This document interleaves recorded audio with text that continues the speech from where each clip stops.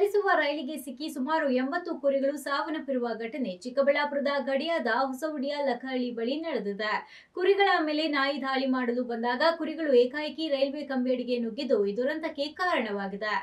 ಇಂದು ಬೆಳಗ್ಗೆ ಬೆಂಗಳೂರಿನಿಂದ ಚಿಕ್ಕಬಳ್ಳಾಪುರ ಮೂಲಕ ಶಿಡ್ಲಾಘಟ್ಟಕ್ಕೆ ಹೊರಟಿದ್ದ ರೈಲು ಚಿಕ್ಕಬಳ್ಳಾಪುರ ಬಾರ್ಡರ್ ಹೊಸಹುಡ್ಡೆ ಬಿಟ್ಟು ಲಕ್ಕಹಳ್ಳಿ ಬಳಿ ಹೋಗುವಾಗ ಅಮಾನಿಕೆರೆಗೂ ಹಿಂದೆ ಅರ್ಧ ಕಿಲೋಮೀಟರ್ ದೂರದ ರೈಲ್ವೆ ಟ್ರ್ಯಾಕ್ ಮೇಲೆ ನಿಂತಿದ್ದ ಹೊಸಹುಡ್ಯ ಗ್ರಾಮದ ಆಂಜಿನಪ್ಪ, ಮುನಿನಾರಾಯಣ ಹಾಗೂ ದೇವರಾಜ್ ಎನ್ನುವರಿಗೆ ಸೇರಿದ ಸುಮಾರು ನೂರು ಕುರಿಗಳಲ್ಲಿ ಎಂಬತ್ತು ಕುರಿಗಳು ರೈಲು ಚಕ್ರಕ್ಕೆ ಸಿಕ್ಕಿ ಸತ್ತು ಹೋಗಿವೆ.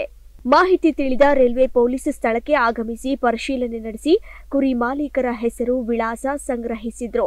ಕುರಿ ಮತ್ತು ಉಣ್ಣೆ ಅಭಿವೃದ್ಧಿ ಇಲಾಖೆ ಅಧಿಕಾರಿಗಳು ಸ್ಥಳಕ್ಕೆ ಆಗಮಿಸಿ ಎಷ್ಟು ಕುರಿ ಸತ್ತಿದೆ ಅದರಲ್ಲಿ ಮರಿಗಳೆಷ್ಟು ಹೆಣ್ಣು ಕುರಿಗಳೆಷ್ಟು ಮರಿಗಳೆಷ್ಟು ಲೆಕ್ಕ ಪಡೆದರು. ಸೇರಿರುವಂತದ್ದು ಸೇರಿರುವಂಥದ್ದು ಎಲ್ಲಿ ಆಗಿರೋದು? ಹನ್ನೊಂದು ಮೂವತ್ತು ಅಷ್ಟೊತ್ತಲ್ಲಿ ಇಲ್ಲಿ ಒಂದು ರೈಲು ಟ್ರ್ಯಾಕ್ ಒಂದು ಚಿಕ್ಕಬಳ್ಳಾಪುರದಿಂದ ಕೋಲಾರಕ್ಕೆ ಹೋಗ್ತಕ್ಕಂಥ ಟ್ರೈನ್ ಹೋಗೋ ಸಮಯದಲ್ಲಿ ಆ ನಾಯಿಗಳು ಅಡ್ಸ್ಕೊಂಡ್ಬಂದಾಗ ಈ ಜಮೀನಲ್ಲಿ ಮೇಯ್ತಾ ಇದ್ದಂಥ ಕುರಿ ಮಂದೆ ನಾಯಿಗಳದಿಂದ ತಪ್ಪಿಸ್ಕೊಳ್ಳಿಕ್ಕೋಸ್ಕರ ಸಡನ್ನಾಗಿ ಟ್ರ್ಯಾಕ್ ಮೇಲೆ ನುಗ್ಗಿದ್ರಿಂದ ಅದೇ ಸಮಯದಲ್ಲಿ ರೈಲು ಈ ಟ್ರ್ಯಾಕ್ ಮೇಲೆ ಹೋಗಿದ್ರಿಂದ ಸುಮಾರು ಅರವತ್ತೆಂಟು ನಾವು ಕುರಿಗಳನ್ನು ಇಲ್ಲಿ ಸಾವನ್ನಪ್ಪಿರೋದನ್ನು ನಾವು ಇಲ್ಲಿ ಕಂಡು ಅದನ್ನು ಪೋಸ್ಟ್ಮಾರ್ಟಮ್ ನಾವು ಮಾಡಿದ್ದೇವೆ.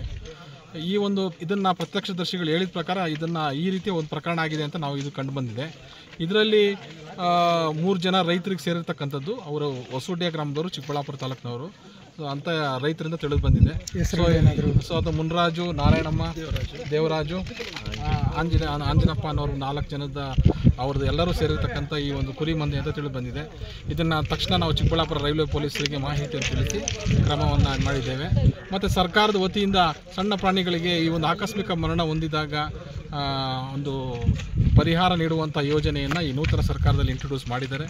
ಈ ಚಾಲ್ತಿಯಲ್ಲಿ ಇರೋದ್ರಿಂದ ಎಲ್ಲ ಮರಣ ಹೊಂದಿರುವಂಥ ಕುರಿಗಳಿಗೆ ಮಾಲೀಕರಿಗೆ ಪ್ರತಿ ಕುರಿಗೆ ಐದು ಸಾವಿರ ರೂಪಾಯಿದಂಗೆ ಅವರಿಗೆ ನೇರವಾಗಿ ಅವರ ಅವರ ಖಾತೆಗೆ ಡಿ ಬಿ ಟಿ ಮುಖಾಂತರ ಆ, ಪರಿಹಾರ ಧನವನ್ನು ಪರಿಹಾರದ ನಾವು ಕ್ರಮ ತೆಗೆದುಕೊಳ್ಳಲಿಕ್ಕೆ ಕೂಡಲೇ ನಾವು ಕ್ರಮ ಕೈಗೊಂಡಿದ್ದೇವೆ ಅದನ್ನು ಕೊಡಿಸ್ತೇವೆ.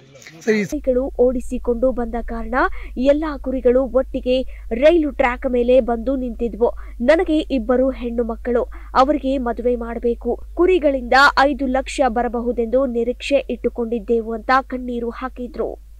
ನಿಮ್ಮ ನಮ್ಮ ಹೆಸರು ಆಂಜನಪ್ಪ ಅಂತ ಹೊಸುಡ್ಯ. ಬೇಸಾಗಿ ಬರ್ತಾ ಇದ್ರು. ಬೇಸಾಕ್ ಬರ್ತಾ ಸೈಡ್ ಸೈಡಲ್ಲಿ ಇದ್ದು ಬೇಸ ಬೇಸ ಇದ್ದಾಗ ನಾಯಿಗಳು ಬಂದವೆ. ನಾಯಿಗಳು ಆಡ್ಸ್ಕೊಂಡ್ ಬಂದಾಗ ರೈಲ್ ಟೈ ಬರೋ ಟೈಮ್ಗೆ ಎಲ್ಲ ರೈಲ್ ಮೇಲೆ ಟ್ರ್ಯಾಕ್ ಮೇಲೆ ಬಂದ್ಬಿಟ್ಟವೆಲ್ಲ ಆ ರೈಲ್ ಕುತ್ಕೊಂಡು ಸರ್ ಸುಮಾರು ನೂರು ಕುರಿ ಇದ್ದಿತ್ತು. ಒಂದು ಹತ್ತು ಹನ್ನೆರಡನೇ ಇದ್ದಾವೆ. ಅಷ್ಟೇ ಎಲ್ಲ ಸತ್ತೋಗ್ಬಿಟ್ಟವೆ. ಎಳ್ಕೊಂಡು ಚಿಲ್ಗಾಡೋರ್ಗೆ ಎಳ್ಕೊಂಡು ಹೋಗ್ಬಿಟ್ಟು ಇಲ್ಲಿಂದ ಸುಳಿದಿಂದ ಚಿಲ್ಗಾಡೋರ್ಗೆ ಎಳ್ಕೊಂಡು ಹೋಗೈತೆ ರೈಲು. ಅಲ್ಲೊಂದು ಪೀಸ್ ಅಲ್ಲೊಂದು ಪೀಸ್ ಅಲ್ಲಿ ಪೀಸ್ ಎಲ್ಲ ಪೀಸ್ ಪೀಸ್ ಆಗುತ್ತೆ. ಇರೋ ಇದು ಇಲ್ಲೊಂದು ಒಂದು ಎಪ್ಪತ್ತು ಎಂಬತ್ತು ಜನ ಎಲ್ಲ ಎಳ್ಕೊಂಡು ಬಿಡ್ತಾರೆ ಈಗ ನಿಮ್ಗೆ ಗೊತ್ತಾಗಿದ್ದಂಗೆ ಇದ್ರಲ್ಲಿ ಇಲ್ಲೇ ಮೇಯಿಸ್ತಾ ಸರ್ ನಮ್ಮ ಅಕ್ಕ ಅವ್ರ ಮೇಸಕ್ಕೆ ಬಂದಿದ್ರು. ಆಮೇಲೆ ನಮ್ಮ ಫೋನ್ ಮಾಡಿದ್ರೆ ಇಲ್ಲಿ ಬರೋಷ್ಟೊತ್ತಿಗೆಲ್ಲ ಎಲ್ಲ ಯಾರು ಸರ್ ನಮ್ಮ ಅನಿಲಪ್ಪ ಅಂತವ್ರು ನನ್ನ ನನ್ನ ನಲ್ವತ್ತು ಕುರಿ ಮುನ್ನಾಡಪ್ಪ ಅಂತವ್ರು ಮೂವತ್ತೈದು ದೇವರಾಜನವರು ಒಬ್ಬರು ಒಂದು ಮೂವತ್ತು ಕುರಿ ಎಲ್ಲ ಇತ್ತು ಸರ್. ಸುಮಾರು ನೂರು ಕುರಿವರೆಗೂ ಇದ್ವು ಎಲ್ಲ ಸತ್ತೋಗ್ಬಿಟ್ಟಾರೆ ಸರ್. ಒಂದು ಹತ್ತು ನಂಬರ್ ಬಿಡ್ತಾವೆ ಇಷ್ಟೆಲ್ಲ ಸರ್ ಟೋಟಲ್ ಏನು ಒಂದೊಂದು ಹದಿನೈದು ಸಾವಿರ ಇಪ್ಪತ್ತು ಸಾವಿರ ಇಪ್ಪತ್ತು ಸಾವಿರ ಪಟ್ಟಿಗಳೆಲ್ಲ ಇದ್ವು ಸರ್. ತುಂಬುಗಳೆಲ್ಲ ತುಂಬುಗಳೆಲ್ಲ ಇದ್ವು. ಮುರಿಗಳೆಲ್ಲ ಈಚೆಗೆ ಬಂದುಬಿಟ್ಟಾರೆ ತುಂಬುಗಳೆಲ್ಲ ಚೆನ್ನಾಗಿ ಚೆನ್ನಾಗಿರೋ ಕುರಿಗಳೇ ಇದ್ವು. ಎಲ್ಲ ಚೆನ್ನಾಗಿರೋ ಕುರಿಗಳೇ.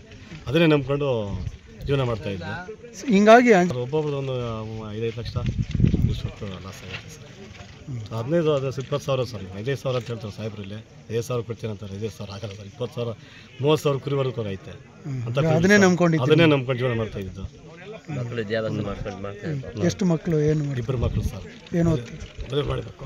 ಹಾಂ ಹಾಂ ಹಾಂ ಯಾವ್ರಣ ಹೊಸೂಡಿ ಸರ್.